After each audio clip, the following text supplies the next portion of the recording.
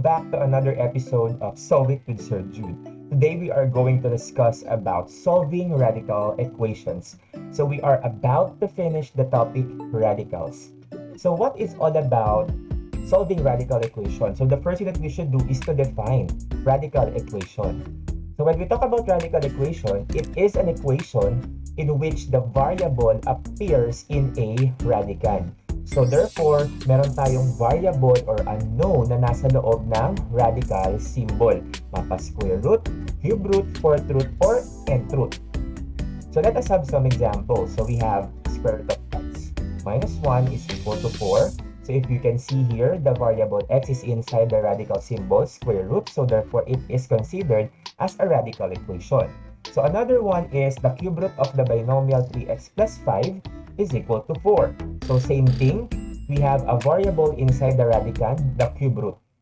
Then, the last one, the last example, we have the square root of the binomial 5a plus 2 is equal to the square root of the binomial 3a plus 10. So we have a variable inside the radicand which is a. How about non-examples? So we have square root of 4 is equal to 12y So if you can see, it does not satisfy the given definition of a radical equation. So kailangan meron tayong variable sa loob ng radicand. So since number to, at pwede naman siyang ma-extract, actually kapag ka in-extract natin yung square root of 4, it will produce a linear equation. So let us now have the second non-example, which is given by the square of the binomial 3z plus 4 is equal to 0. This is not a radical equation, but we can call this one as a quadratic equation. And then the last non-example is x plus y is equal to the square root of 5. So how are we going to solve radical equations? So there are three steps that we are going to follow in order for us to solve radical equations. Let us have example number 1. So solve square root of x plus 8 is equal to 12. The first thing that we should do is to isolate the radical expression. So, paghiwalayin natin yung radical expression na square root of x doon sa constant term which is 8. Okay? So, ilipat natin si 8, si positive 8 sa kabila. So, it will become square root of x is equal to 12 minus 8 using the addition property of equality or just transpose. 12 minus 8 will give us 4. So, therefore, we now have the equation square root of x is equal to 4. So next, step number 2. We need to raise both sides of the equation to a number equal to the index of the radical. Then solve. If you can see, after nating ma-isolate yung given, the next thing that we should do is to raise both sides of the equation to a number equal to the index. So the index of this expression, square root of x, is 2. So therefore, there is a need for us to raise both sides of the equation by 2. So the square root of x squared, so we can cancel 2 and the index, so it will produce x is equal to 4 squared is equal to 16. Next, after getting the value of x, hindi pa doon nagtatapos. The next thing that we should do is to check our answer. So, kailangan mag-satisfy siya sa ating original equation. So, substitute natin. So, from the original equation, square root of x plus 8 is equal to 12 substituting x which is 16, it will produce square root of 16 plus 8 is equal to 12. So equal nga ba sa 12 itong left side of the equation kapag ka-simplify. So let us continue our checking. The square root of 16 is 4. So we now have 4 plus 8. Is it equal to 12? 4 plus 8, we all know that it is equal to 12. So we now proven that the left and right sides of the equation are equal after substituting the value of x which is 16. So therefore, the correct solution to the given radical equation is 16. So mahalaga na i-check natin yung bawat solution because meron tayo mamayang ma-encounter na hindi magsasatisfy sa given radical equation. Let us proceed to example number 2. For example number 2, we have the square root of the binomial 3x minus 6 minus the square root of the binomial 2x minus 12 is equal to 0. If you can see, two radical expressions are in one side of the equation. So therefore, ang unang gagawin natin, i-isolate natin yung mga radical expressions paghiwalayin natin sila. So if that will be the case, if we are going to transpose negative square root of the binomial 2x minus 12 to the right side of the equation, it will produce square root of the binomial 3x minus 6 is equal to the square root of the binomial 2x minus 12. So, na-isolate na natin yung ating equation. Step number 2. Erase natin both sides of the equation to a number equal to the index. So, ang indices netong dalawang expressions na sa left and right side of the equation is 2. So, erase natin both sides by 2. Okay? okay? So, if we are going to simplify quantity square root of 3x minus 6 squared, it will be 3x minus 6 is equal to, same with this one, quantity square root of 2x minus 12 squared will produce 2x minus 12. Then, let us apply addition property of equality. Ilipat natin si 2x kasama ni 3x and then si negative 6 kasama ni negative 12. So, pag naglilipat tayo, we just need to change the sign. So, this is positive 2x. Pag transpose, it will become negative 2x. Same thing with negative 6. Pag nilipat, it will become positive 6.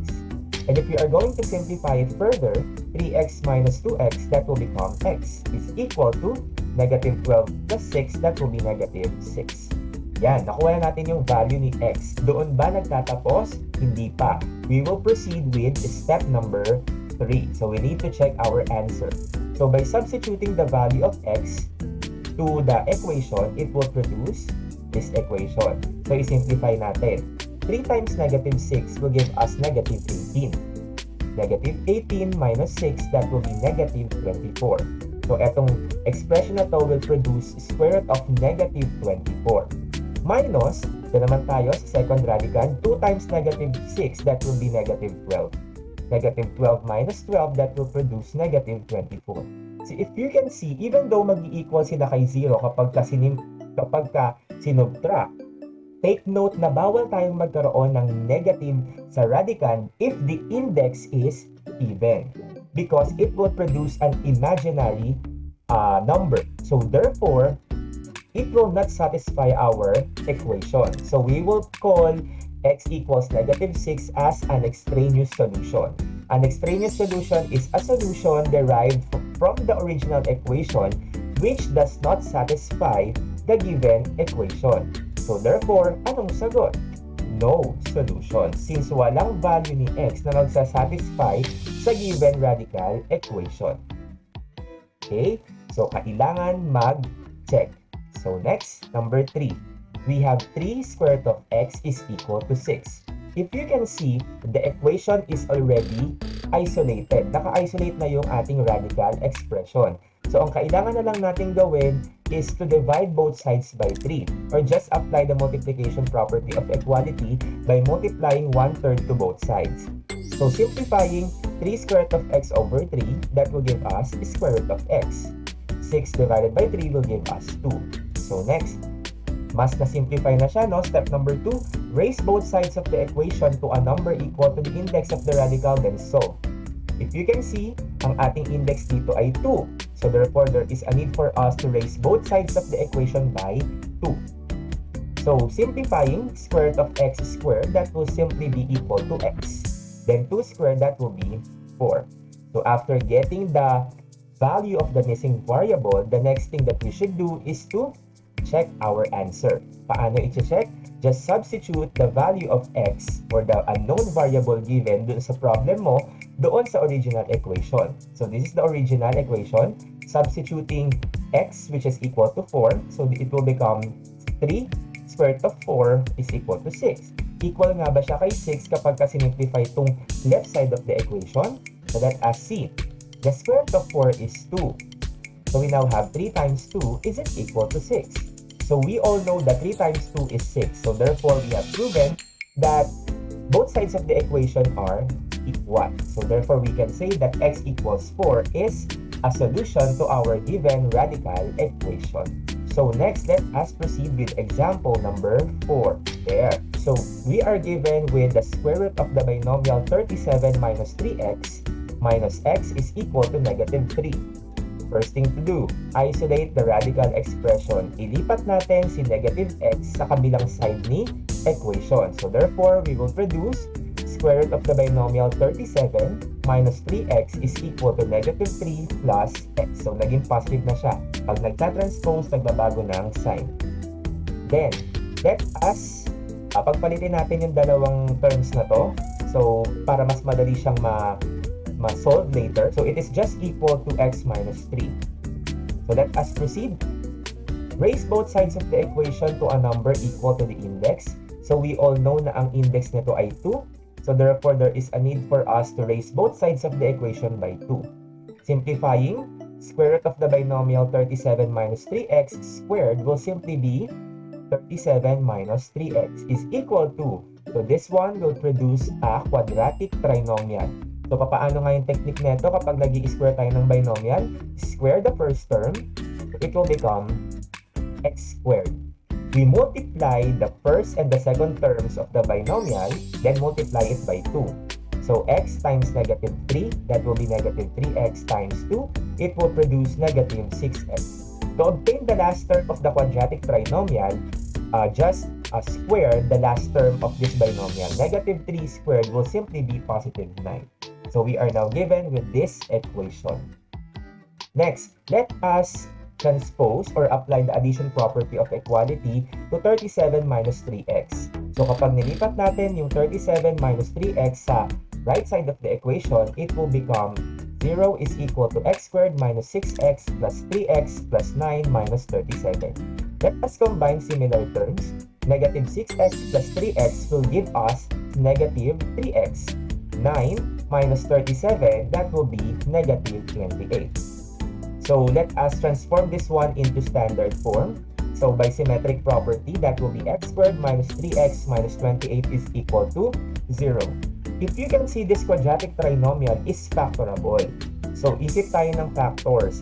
So, unang kailangan i-factor si x squared. The factors are x times x. Next, isip tayo ng dalawang number na kapag minultiply, negative 28. At the same time, kapag kainad yung dalawang numbers, will produce negative 3. So, the numbers are negative 7 and positive 4. So therefore, the factored form will be x minus 7 times x plus 4 is equal to 0. Then applying the zero product property, so we have x minus 7 equals 0, and then the other one is x plus 4 is equal to 0. So addition property of equality being applied to the first equation obtained, we will produce x is equal to 7. Addition property again for x plus 4 is equal to 0, we will obtain the second value of x which is negative 4. After obtaining the values of x or the solutions, kasunod, i-check natin yung bawat answer. We need to substitute each of them to the given uh, original radical equation. So, si 7 muna tayo. So, upon substitution, we will produce this equation. So, negative 3 times 7 will produce negative 21. So, 37 minus 21, that will be square root of 16. So, ito na yung kalalabasan niya. So square root of 16 is 4. Then 4 minus 7 will be negative 3. Since both sides of the equation are equal, so we can say that x equals 7 is a solution. So tama yung sagot natin for 7. So how about for x is equal to negative 4? So si negative 4 naman ang isubstitute natin doon sa original radical equation. So upon substitution, this will be the result. So negative 3 times negative 4, that will be positive 12. So we now have square root of 37 plus 12. 37 plus 12 will be 49. So we will produce square root of 49 plus 4. So naging plus 4 nga pala to because negative times negative will be positive. So square root of 49 is 7. 7 plus 4 will be 11. 11 is not equal to negative 3. So therefore, x equals negative 4 is considered as an extraneous solution. So therefore, ang sagot lang natin for this item number 4 will be x is equal to 7. Let us now proceed with the last example. So we are given this time with the cube root of the binomial x minus 1 is equal to 3. So if you can see, the equation is already isolated. So magkahiwalay na yung radical expression doon sa constant term. So the second thing that we should do we need to raise both sides of the equation to a number equal to the index of the radical. So the index here is 3. So cube both sides of the equation or raise both sides of the equation by 3. So the the quantity cube root of the binomial x minus 1 cube will be x minus 1. Then 3 cube, 3 times 3 is 9. 9 times 3, that will be 27.